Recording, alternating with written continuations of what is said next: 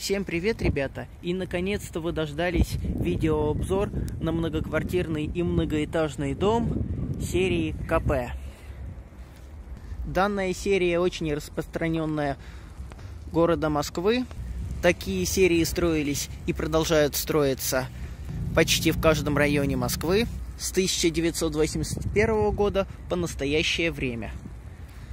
Ну что, меньше слов, ближе к делу. Поехали! В доме имеется два подъезда.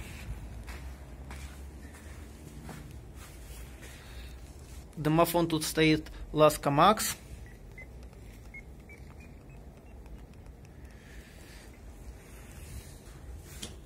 Дверь тут открыта.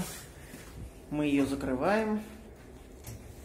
Вот тут комната консьержи. На данный момент консьержка отсутствует. Это дверь консьержа. Это первый этаж. Имеются почтовые ящики. А также имеются три лифта.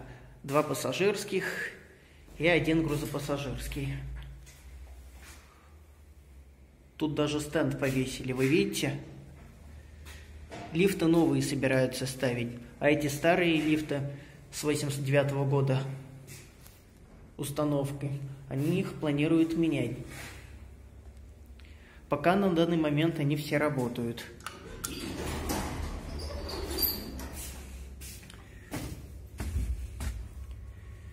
Приказ тут мененный, Мослифтовский. Едем на 22 этаж.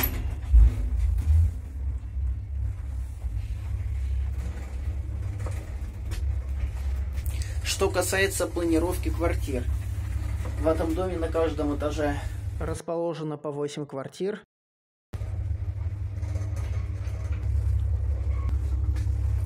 Балафоне горят две лампочки, третья не горит.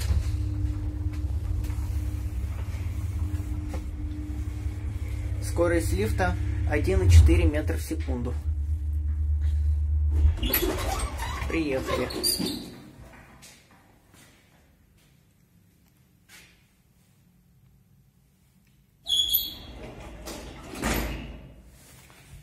Вот эта основная дверь идет квартирный коридор, а это связующая дверь между лифтовым и квартирным холлом. Также там есть еще лестничная клетка, куда ведет лестница на выход черного входа. А также есть машинное помещение на самом верху. Вид из окна На данный момент вечер, девятый час.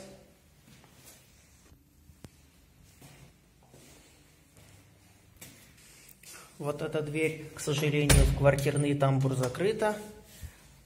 Но бывают и открытые двери, прям настежь, на некоторых этажах.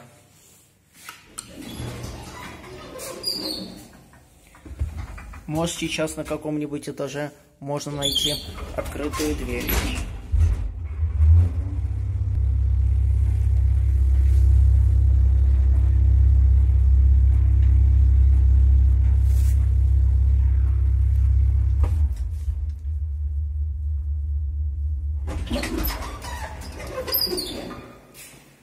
Так, это уже 15 этаж. Тут тоже дверь закрыта. Поехали на седьмой этаж.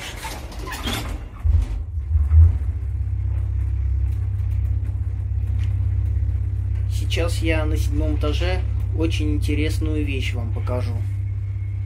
Это одна из особенностей в данных сериях.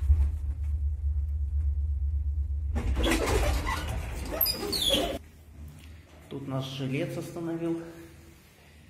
Это восьмой этаж, оказывается. А нам нужен именно седьмой. Ну, не выше седьмого. Ну и, к счастью, тут оказалась открытая дверь. Вот расположены квартиры. В доме был, видно, сделан косметический ремонт, вы видите. Но вот в тамбурах, где мусоропровод между квартирным тамбуром и балконом подъездным, тут стоят люминесцентные лампы старые.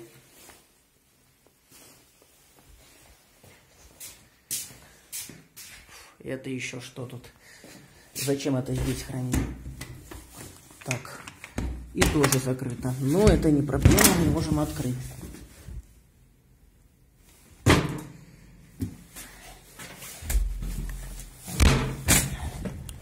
Так, вот он, балкон. Мы вышли.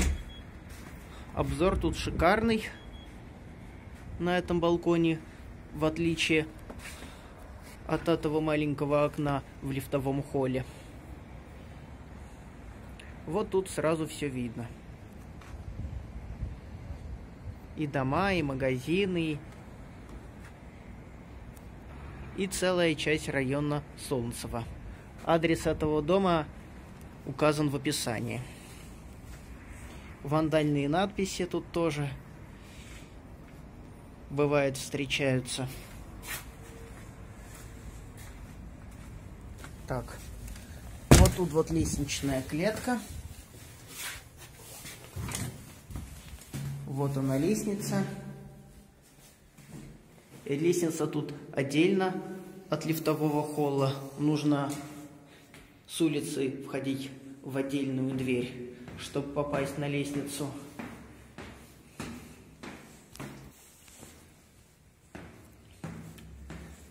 То есть к лифтам отдельно, на лестницу отдельно нужно попадать. Так, тут дверь закрыта. Сейчас мы будем искать, где тут открытая дверь, если попадется. Вот, дверь открыта. Спасибо.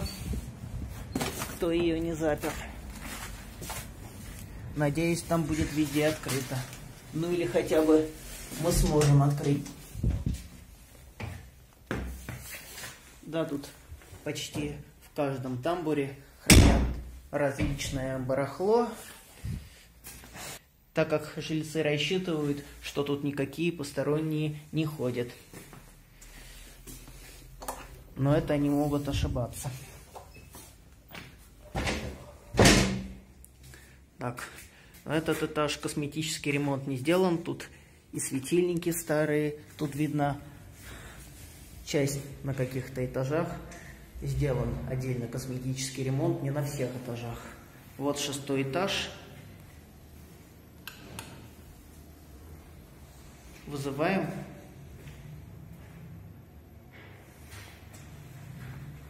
едет грузопассажирский. Вот. Сожалению, приехал пассажирский. Вы видели? А знаете хоть почему? Грузопассажирский в том-то и дело его отключили уже на замену. Это, конечно, печально. А так он, по идее, с первого по седьмой этаж он должен вызываться. С остальных этажей вызываются только пассажирские. Ну, хотя бы пассажирские работают. Чего-то он опять открылся. Непонятно. Этот лифт в процессе движения.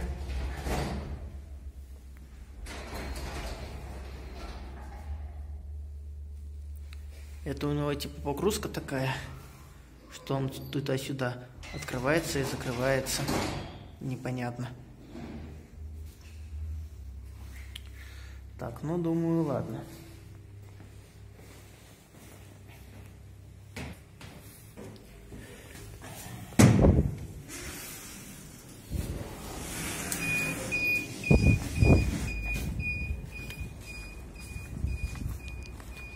Уважаемые зрители, наш ролик подошел к концу, и я уверен, что всем вам понравился этот уникальный дом многоэтажный. Конечно, очень жаль, что грузопассажирский сарай не работает. Его уже на замену все отключили.